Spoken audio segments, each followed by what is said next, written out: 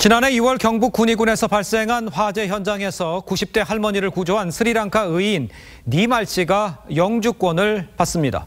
난민이 아니어도 본국에 돌아가 생명에 위험이 있다면 인도적 체류는 허가해야 한다는 법원의 첫 판단도 나왔습니다. 조정린 기자입니다. 광화문 한복판에선 이주 노동자들은 노동 현장의 차별과 착취가 여전하다고 호소했습니다.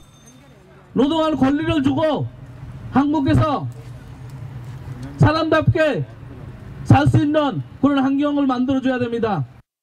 화재 현장에서 90대 할머니를 구해내 영주권을 받게 된 스리랑카인 니말 씨도 마음 편히 일할 수 있음에 가장 먼저 안도했습니다. 우리 국민의 생명과 재산 보호에 기여한 공로로 외국인이 영주권을 받은 건 이번이 처음입니다. 일하고 싶을 때 일도 많이 하- 해야 돼 할 수 있어요.